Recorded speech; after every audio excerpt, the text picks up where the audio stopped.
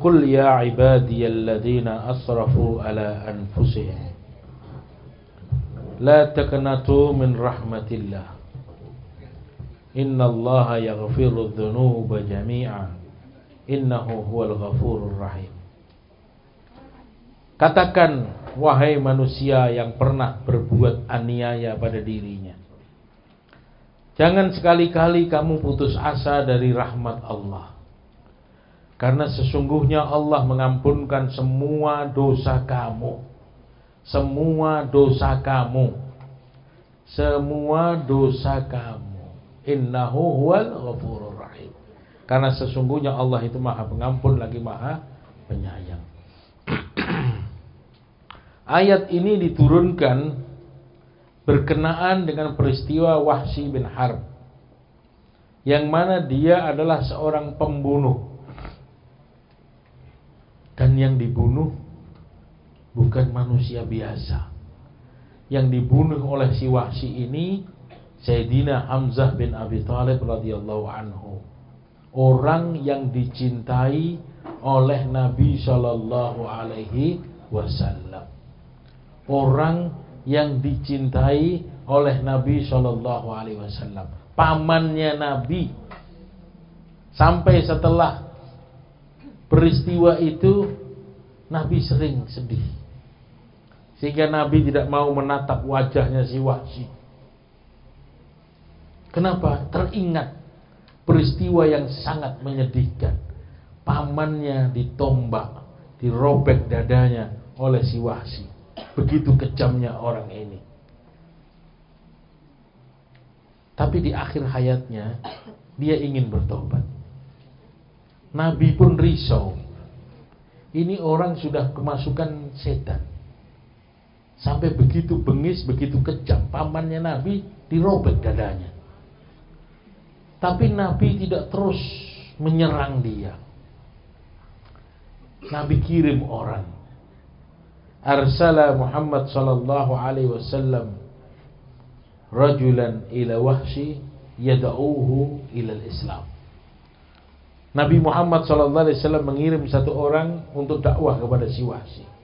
Mengembalikan sifat fitrah pada diri dia. Mengeluarkan sifat binatang dan sifat setan yang ada pada diri dia. Nabi utus satu orang datang ke Wahsi. Mengajak Wahsi masuk Islam. Bertobat kepada Allah. Si Wahsi ini sama. Dia tidak yakin. Apa mungkin orang seperti saya ini diampuni? Dia tidak yakin. Kenapa? Karena dia pembunuh paman Nabi. turun ayat Al-Quran. Inna Allah la yaghfiru an yushraka bihi wa yaghfiru ma duna dhalika liman yasha.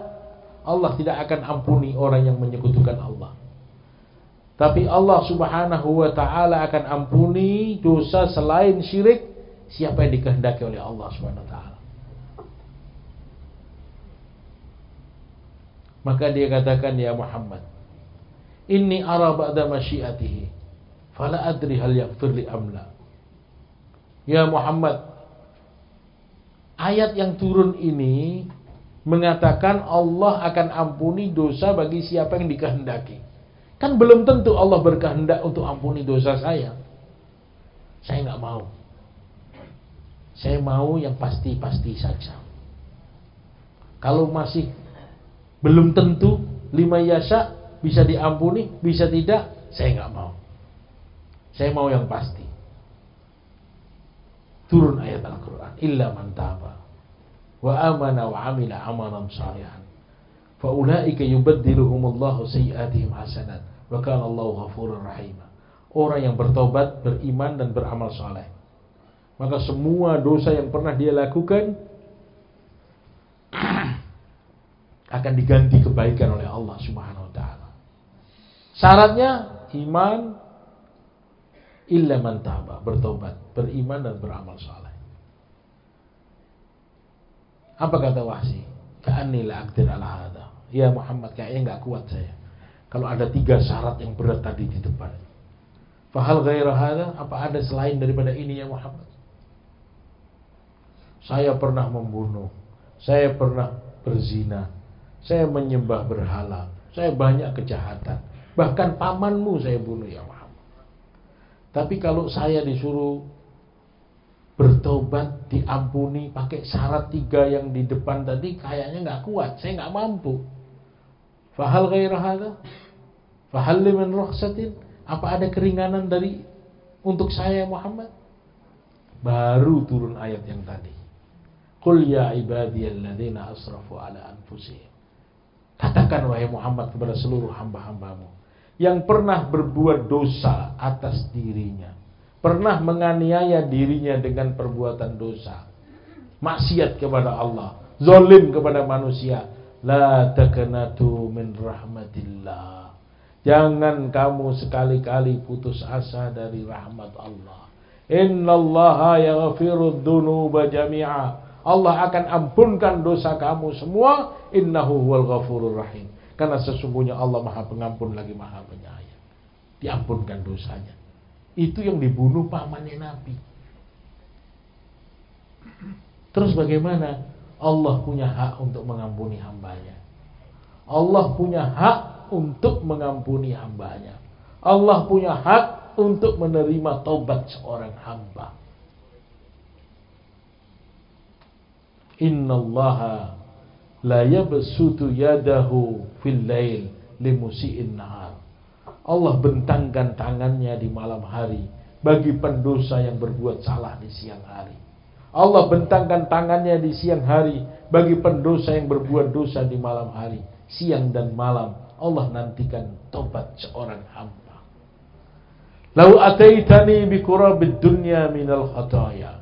Andaikan kau datang kepada aku kata Allah, membawa dosa sebesar dunia ini, summa kemudian kau sungguh-sungguh sujud kepada aku, berjumpa kepada aku, la tusyriku bi syai'a, tanpa menyekutukan aku, la ataituka maghfiratan bi kurabiha maka aku akan datangkan ampunan yang lebih besar daripada dosa yang pernah kau buat dalam hidupmu. Itu janji Allah. Bagi manusia yang pernah berbuat dolim, yang pernah berbuat salah, selesaikan mumpung kita masih ada di dunia ini. Kita punya salah sama orang, minta maaf. Kita punya hutang, segera dibayar. Sekuat tenaga kita, sampai kita mati. Selanjutnya serahkan kepada Allah Subhanahu wa taala. Tapi kalau kita sengaja, ah Allah kan ampuni dosa kita. Biarin aja utangnya nggak usah dibayar. Nah ini nggak boleh. Nabi tidak menyolatkan jenazah seseorang yang masih menanggung hutang. Sallu ala sahibikum ala. Solatilah jenazah ini. Nabi tidak Al-mayyit mu'allaqun bidainihi malam yuqdah. Mayit itu tergantung-gantung dengan hutangnya sampai dibayar hutangnya. Dosa dengan manusia harus diselesaikan. Maka sekuat tenaga kita, kita selesaikan urusan kita dengan manusia. Tapi yang penting kita jangan putus asa dari rahmat Allah. Jangan sampai kita merasa, oh utang saya kan banyak.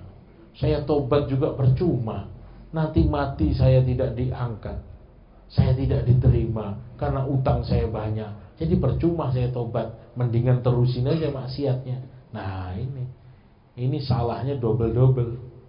Sudah salah kepada manusia, salah lagi kepada Allah. Sangka buruk kepada Allah. Allah mampu selesaikan masalah kita. Allah mampu ampuni dosa kita. Seperti wahsi tadi, nawar lagi, nawar lagi, nawar lagi. Sampai akhirnya Allah katakan, semua dosa kamu aku ampuni. Buktinya apa? Dia bisa membalas. Dengan tombak yang sama, dia bunuh orang yang paling dicintai oleh Nabi. Dan dengan tombak yang sama, dia bunuh manusia yang paling dibenci oleh Nabi SAW.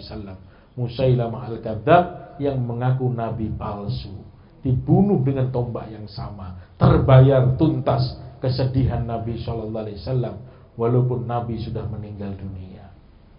Itu tandanya tobat dia diterima oleh Allah Subhanahu wa taala. Hey.